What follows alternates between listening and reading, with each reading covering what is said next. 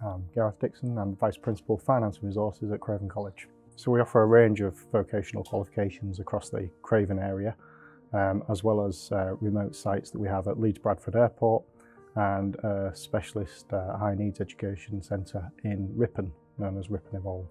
We've invested in a complete uh, desktop refresh for all of our student devices, um, which resulted in over 400 desktop positions being changed, uh, as well as issuing laptops uh, to all of our staff.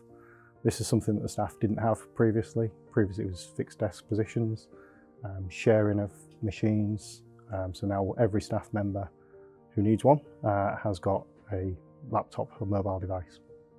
The equipment that we had uh, was on average seven years old. Um, as a consequence, we were suffering from poor performance, low satisfaction rates from our, our students, um, inefficiencies. Some machines were taking up to 15, 20 minutes to load up each day. Um, and that just was resulting in a, a much, a, an ageing IT estate that heavily needed investment. So we'd worked with Apogee previously um, for our print contract, um, but we went out to tender through the CPC framework, um, which we then discovered Apogee were on the framework of which we were looking to uh, put the tender out through. It allowed us a, a proven route to market um, for us to access this, uh, what we've, we've, now got across the college. Um, and it was something that we knew we could rely on. Um, we had the benefit of our previous uh, working relationship with Apogee on the print side. Um, but through the tender process, we discovered Apogee could offer the same level of service on our devices as well, um, which is really helping us as well that we can link our print and our devices as one through one relationship. So the education sector is continuously using technology, um, more so in recent years, particularly with COVID. Um, the amount of remote learning uh, that now happens has increased. Um, so having a reliable technology base on which to operate from has been proven essential. And we're finding that every curriculum area that we, we work in has got an increasing dependency upon technology. Um, so this investment was actually absolutely key to our success going forward. Every course will be uh, touched in some shape or form, whether that be through the classrooms that we've deployed the equipment in, whether it be in the Learning Resource Centre where we carry out our directed study sessions um, and also through the, the staff that are teaching those students with the technology that we've now given those staff um, is enabling them to provide a much more digitally immersive uh, curriculum. The team were brilliant, um, incredibly flexible, very accommodating, understood our restrictions around timetabling that we have. Obviously we're fairly busy um, during the uh, college day.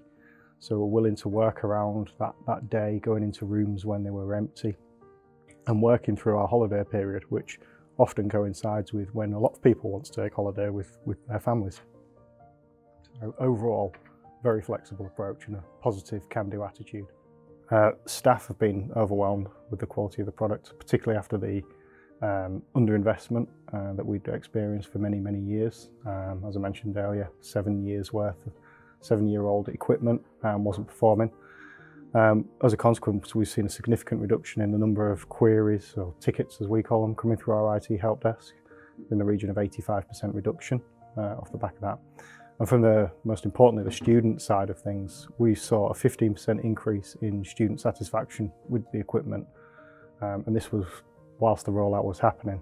Um, so was, it's now at 91% satisfaction with the equipment. So we've got a few uh, options that we're currently exploring. One is um, looking at offering uh, laptops to our students. So that's probably through two main channels. One is availability of quality laptops on site um, to supplement the desktop positions that we've had. Uh, and the other ways are looking at options to provide a laptop um, purchasing solution for our students. So if they choose to buy a laptop of their own, we can look to, to offer them a, a device uh, in partnership with Apogee. Another solution that we'll be um, putting in place is a laptop safe or laptop locker. Um, it's a bit like a, an Amazon locker, which will allow staff and students to be able to go and access uh, a laptop within the college's reception area for use on, on site. Um, that will provide a, tracked system when they log the laptop out, when they log the laptop back in, um, and reduce the reliance on staff being present to be able to issue those laptops. Um, so I'd say two, two main aspects. One is the quality of the equipment that we've received.